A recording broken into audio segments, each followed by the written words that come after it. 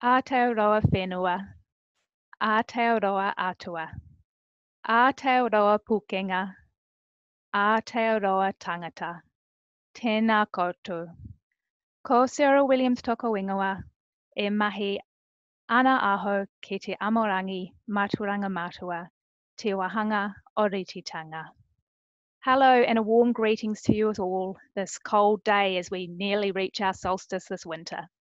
My name is Sarah Williams and I work in the Learner Success team at the Tertiary Education Commission. Welcome to today's session, Teaching Online, Pedagogy and Practice. What do I need to know to be an effective, engaging teacher in the online space? We are very glad you could all join us today. Now, a couple of housekeeping points. Your audio and your video are disabled, but you can communicate with us via the chat and the question and answer functions. Please make sure you put any questions you have for our presenters into the Q&A section. You can upvote questions and you can comment on questions. Use the chat function for general comment or to notify us of any technical issues you might have. We have had 500 registrations for this forum today, so we do have a team of people looking after you in the background. Ravi is monitoring chat for IT issues and will respond directly to you to assist. Pat is also monitoring chat for any themes that may emerge and to redirect any misplaced questions. And Lasale is looking after our question and answer function. Closed captioning is running for this session, so if you need that, you can enable it via your Zoom window.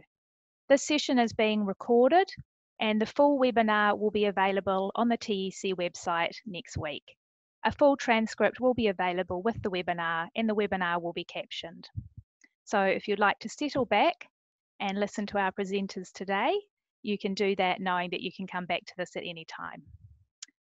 So without further ado, I'd like to hand over now to our presenters, Mark Nichols from Open Polytechnic and Ali Hughes from TANZ eCampus. Mark and Ali are going to share their knowledge over the next 30 minutes or so.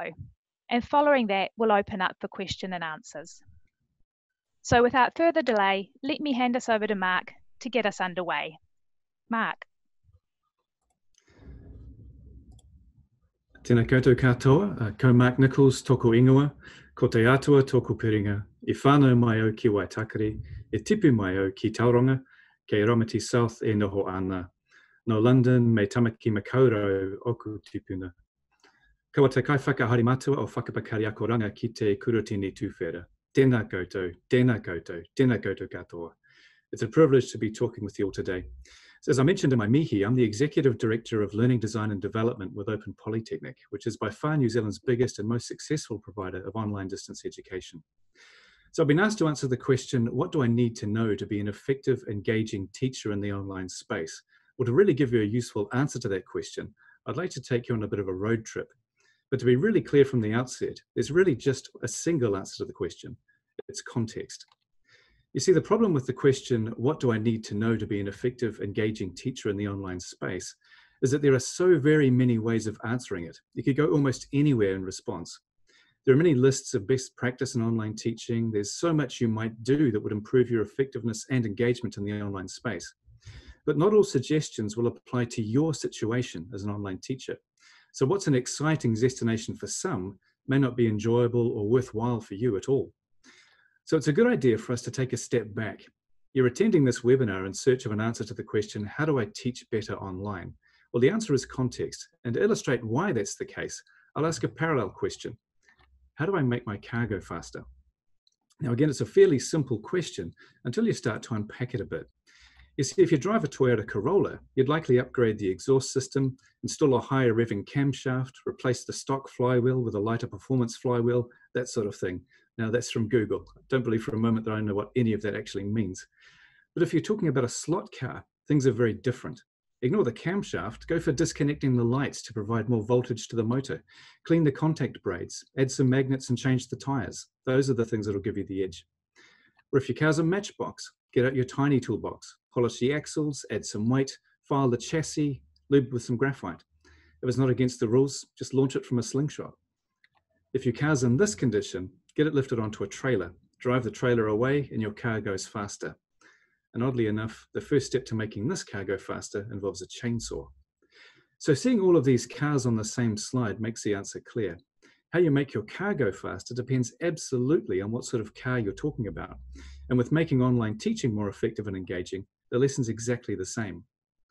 So the answer to what do I need to know to be an effective, engaging teacher in the online space is simple. You need to understand your context. Whether you need magnets or tires, a camshaft or a chainsaw, all depends on where you're starting from. So to improve your online teaching, you need, what you need to do relies totally on your context. Once you know your context, you'll begin to see the opportunities for teaching improvement begin to unfold.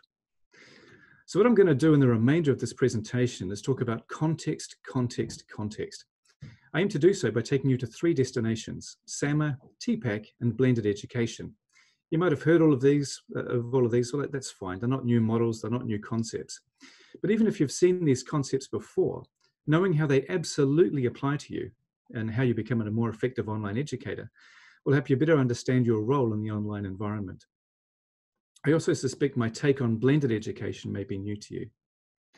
So our first destination is SAMR, a model introduced by Ruben Puentedura in 2006. It suggests that technology in education can lead to four main types of practice, substituted, augmented, modified, or redefined. If you substitute or augment, you're really enhancing your teaching. If you modify or redefine, Puentedura would say that you're transforming your teaching. Now, becoming more effective and engaging as a teacher might take place at any of these four points, I'm not saying that you must be transformative to improve your practice. To become more effective and engaging, you might just improve what you currently do. There's no imperative requiring you to advance up the SAMR possibilities. In fact, that might even be detrimental. Let's take a closer look. So if you're a lecturer at a university, there are plenty of things you might do with technology. You might just lecture as normal, but have your lectures live captured and streamed through a university service. These would be more effective means of substituting what you do through technology. You might also make your slides available for students to download separately. Or you might build in a live Twitter feed, have an active chat channel for streamed classes, include more online links to additional resources. These might be ways of augmenting your lectures. But you could also go much further to transform your practice. To modify your teaching, you might lecture less and adopt asynchronous forums for the exchange of ideas and academic debates.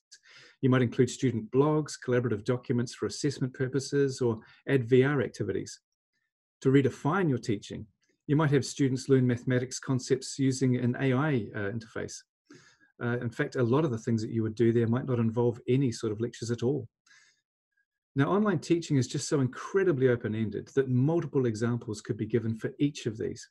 Don't be misled, though, by the shiny and new. Becoming a more effective and engaging online teacher might simply involve planning your lectures better. A carefully planned, scripted, and insightful lecture is much better than a poorly planned online discussion forum or pointless VR activity. So transformational doesn't always mean more effective or more engaging. It just means different and new ways. There's opportunity within all four frames of SAMR to improve your practice. So the key question based on SAMR is, what's your context? And by this, I mean two things. Firstly, what's your appetite as an online teacher? Are you up for transformation or would you rather just enhance? Well, there's plenty you might do just enhancing your current practice that will make you more effective and engaging. Just improve your lecturing skills and your learning resources. If you're interested in transforming your practice, consider new approaches that are proven and used by others. Get to know the online learning literature as it relates to your subject area. But the second thing you need to bear in mind is there might be limits to what you can do. Is it realistic for you to transform your practice in the institution you're part of? Very few of us have complete freedom over how we teach, it just might not be possible for you to modify or redefine your teaching. Take this webinar as an example. I'm constrained in the approach I can use to get these ideas across to you. I've got 15 minutes in a live session, so straight away that limits my SAMR application. The best I can do to make my presentation engaging and effective is to make it clear, keep the pace going, and illustrate my points using colorful examples. So what's your context? What's your appetite for different? And what are your constraints? Your answer to these questions will help you to, identify how to become more effective and engaging. Our second stop is TPACK, a framework popularized by Matt Koehler in 2012. So TPACK is an acronym standing for Technological, Pedagogical, and Content Knowledge. If you like, it's the trinity of effective online teaching, and that you need expertise across all three of these to become a truly effective and engaging online educator. But how realistic is that? It's extremely ambitious for anyone to develop expertise, and by that I mean really solid theoretical and practical insight across all three of these quite different areas. As an educator, you'll have some proficiency across these. Most of it will likely be in the content knowledge area. You'll also know enough to teach well and have enough technical knowledge to answer emails, use a learning management system, create PowerPoint slides, and possibly even author your own website. But to what extent can you go beyond this? I remember thinking making an effective instructional video was straightforward until I tried it and watched what I'd done. The content was fine, but the production values were just awful. The lighting was wrong, the sound was terrible, and the background was cluttered. I knew how to put in title slides and transitions, but someone with much better technical knowledge would have added an incredible amount to it. A little knowledge is a dangerous thing, and I think if we're honest, many of us are just not the pedagogical and technological experts we think we are. We know how to do a good job, but it's difficult to think about how new ideas and new teaching methods might be developed, and uh, our production values might just get in the way. In New Zealand, we've got this amazing DIY culture, but it's important that we know our limits. I'm a DIYer in that I can build an IKEA daybed, but I struggle to assemble a kit set garden shed, and I would never try to build a house. I'm just not expert enough. Moving to online education is similar. It's complex getting it right. An enthusiastic teacher can accomplish a lot and will no doubt do a really good job of online teaching. But to be really effective and engaging, you need to draw on those with specific expertise and technological and pedagogical knowledge. At Open Polytechnic, we develop our courses or modules in ways that make sense of the opportunities of online education. We mix the expertise of learning designers who have special insight into technological and pedagogical knowledge with that of subject experts who provide the content knowledge. Now, in reality, it doesn't quite look like it does on the slide. We have a principal learning designer role whose job it is to define pedagogy as it relates to specific programs and an overall design framework informed by good practice uh, that further defines the pedagogy. And we have an online user experience platform called iQualify, which also helps us into sound learning design. But I hope you can see the point. The subject matter expert or lead academic as defined on this slide doesn't do it all. To be an effective and engaging online teacher, I suggest you look toward becoming part of an online design team. So as is predictable by now, what's your context? Does your institution have learning designers, educational advisors, or specialist training? Get to know what these are and what they might offer you. Be open to their advice and resist trying to do it all or own it all yourself. If you want to be an effective and engaging online teacher, accept that the best value you can add is your subject or content knowledge. Adopt a collaborative mindset and add your strengths to the overall student experience. Okay, on to our last destination, blended learning. Many people think that blended learning is the single place between face-to-face or classroom education and online or distance education. Well, it's not quite like that. On campus and distance are the starting points though, and blended learning is the space between them. But there are two main forms of blended education that are actually very different, and on the job or apprenticeship learning can be different yet again. You see, if you start at one end or the other, you carry various assumptions into the online space. I like to summarize them in this way. If you start with the assumption of the classroom, you tend to think of blended learning in terms of a flipped classroom, and your role will become that of a teaching individual supported by online courseware. If you start from the distance end of the spectrum, you're likely to experience blended learning more from a student supporter role. So being effective and engaging as a teacher requires different skills depending on where across the spectrum you find yourself. But of course, there's a lot more to say about this because all of these contexts have additional expectations and possibilities attached to them. The level of study you're teaching to, the possibilities afforded by the subjects you're teaching, the number of students you're dealing with and what they expect of you, the support services that surround your role and the expectations of the institution you work for will all determine what you can do. And these will also determine what effective and engaging looks like. My advice to you is don't underestimate that last point of contact expectations. My very first experience of this happened about 20 years ago. I was an e-learning consultant appointed to help a particular team adopt a flexible, flipped approach to online learning. The work done is something I'm still proud of to this day. We developed a media-rich, online-supported model of flexible delivery based on a flipped classroom. Students had access to a very engaging and effective set of course materials that carefully explained core concepts and modeled practical skills. But it was a complete disaster. The problem was the students had not enrolled in a flipped classroom.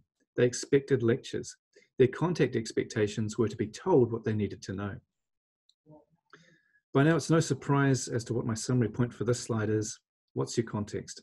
If you're an on-campus teacher, it's difficult to become a blended on-campus teacher without a plan and without the support of your institution. Changing across any of these four categories presents a major shift in practice, largely because of your context. Okay, that's the third and final destination. Let me now take it home. My ultimate answer to the question, what do I need to know to be an effective, engaging teacher in the online space, is to begin with a thorough understanding of your context. You need to know your institutional strategies for online teaching, the support services on offer, your fit as a teacher in terms of the overall student experience. You need to be aware of the opportunities and constraints that apply based on your formal role as a teacher, your appetite for transformation, and the range of technological, pedagogical, and content knowledge you bring to bear. You need to know your context. If you're interested in learning more about your context, including further conversation about SAMR, TPACK, and what they imply for higher education, I invite you to read this book published last month by Routledge. In it, I explore the potential of digital distance education for higher education and why it represents the most accessible, scalable, and personalized form of teaching and learning that can possibly be implemented today. Uh, the book is based on the Whakapiri, Whakamārama, and Whakamana model of higher education proposed by Professor Sir Mason Durie, and it begins with an appreciation of what universities, polytechnics, and PTEs strive to achieve in changing student lives for the better. So if you're the sort of person interested in this webinar, I suspect you'll also appreciate this book. I also invite you to subscribe to the Leaders and Legends of Online Learning podcast, which has been going for about two years now. In it, you'll hear the perspectives of international experts whose work is entirely relevant for anyone seeking to better understand online education. Just one final point professional associations such as FLANZ, ASCILITE, and ICDE are well worth joining, and there are plenty of journals and websites that offer excellent advice for online teaching. You'll also find my contact details on the slide. So thanks for your time, and I look forward to your questions. Kite anō o ia koutou, I'm handing over now to my colleague Ali Hughes, who will be addressing the same theme of effectiveness and engagement in the online space.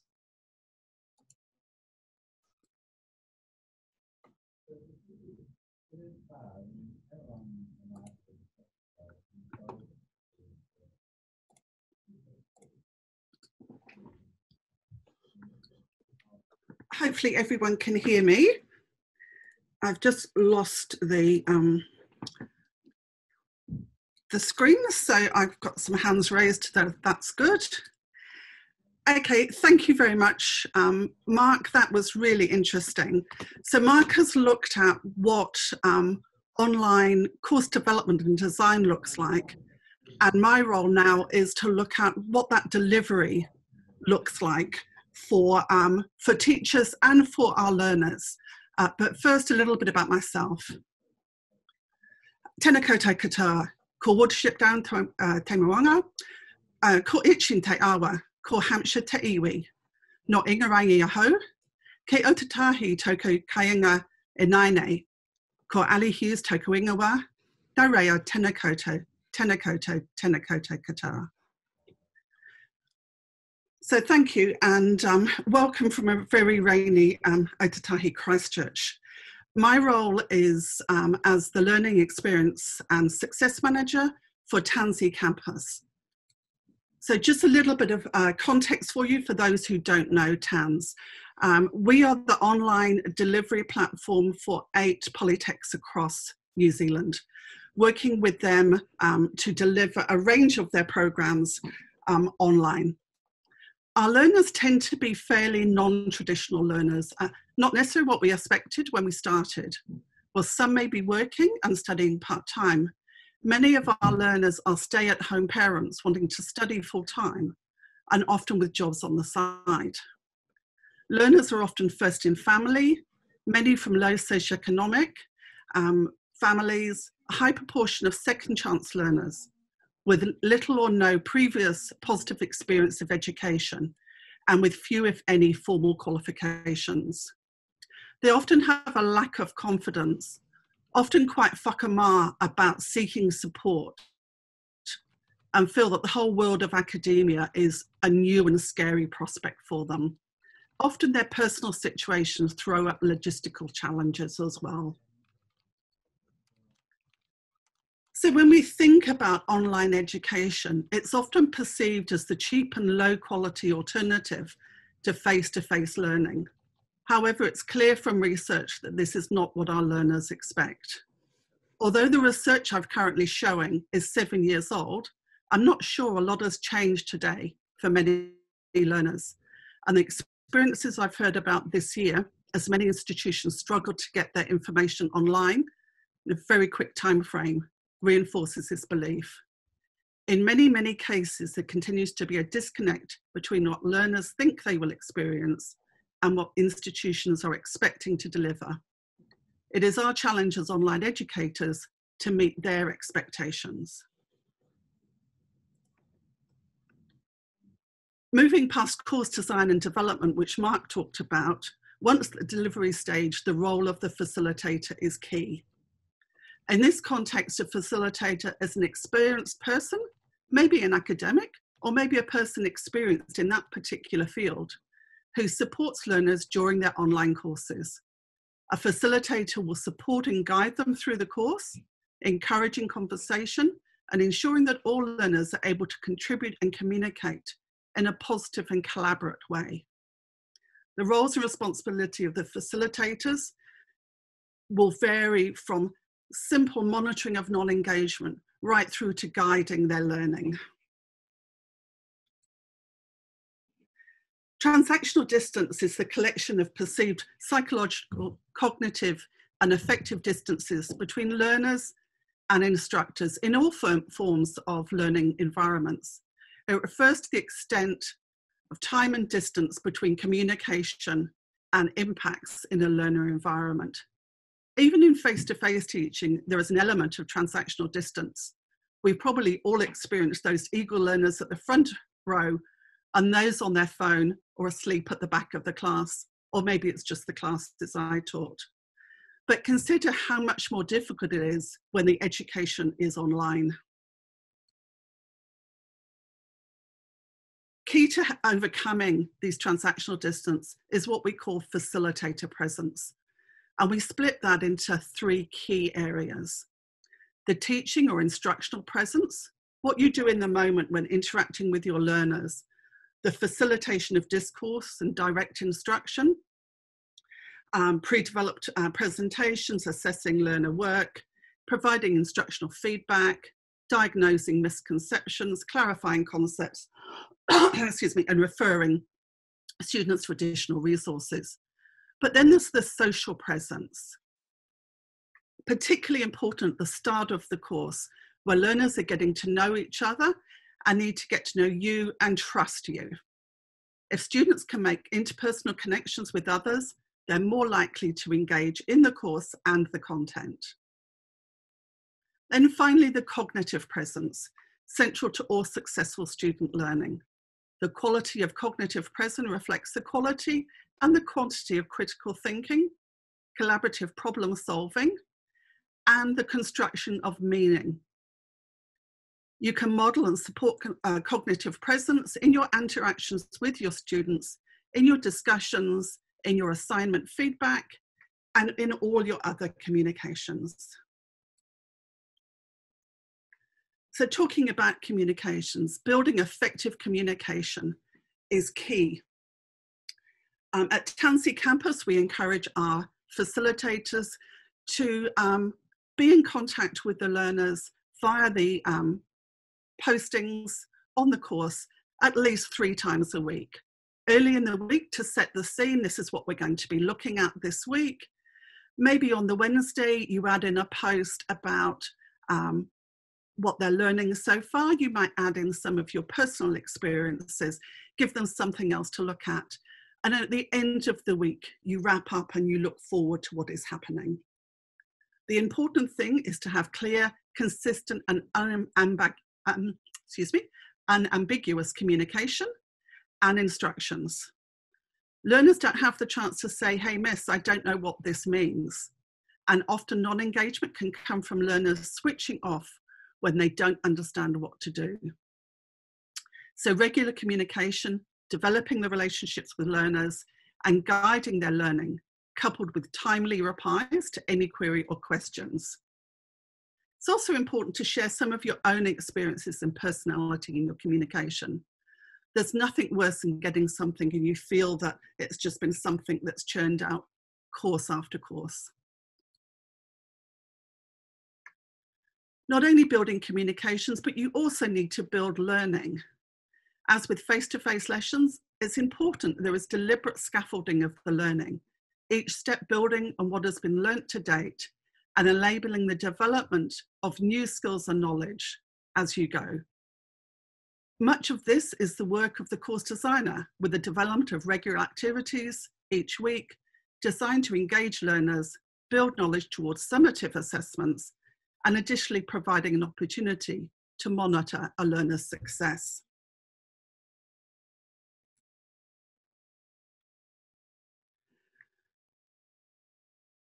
When you make the effort to do all you can to support the learners in their academic endeavours and ensure they feel a sense of belonging, the learners are more likely to persevere in their student, in their studies and complete their qualification. At TANZ eCampus in, 90, in 2019, we did an extensive project with our level three administration learners called the Kiora or Good Health Project, designed to better understand what learners needed to be successful online. We will talk later about the findings in terms of learning support, but what came out very strongly from learners of all ethnicities was the desire for that sense of whanautanga, the relationships and belonging. It is our job um, as learning um, online educators to build that relationship.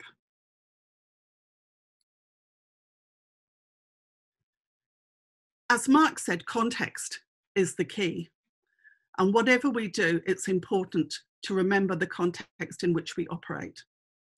In Aotearoa New Zealand, we have an obligation under the treaty, but more than that, we have an obligation to our learners to develop an environment in which they recognise themselves. The use of te reo and tikanga Māori in our work could include the um, inclusion of our pepeha, in introductions and the use of cultural references and relevant whakatauki in our work. To add to that sense of relationship, we also have a range of tools to enable the building of community across our learners, encouraging learners to share ideas, form study groups, and interact with other learners all adds to that sense of belonging.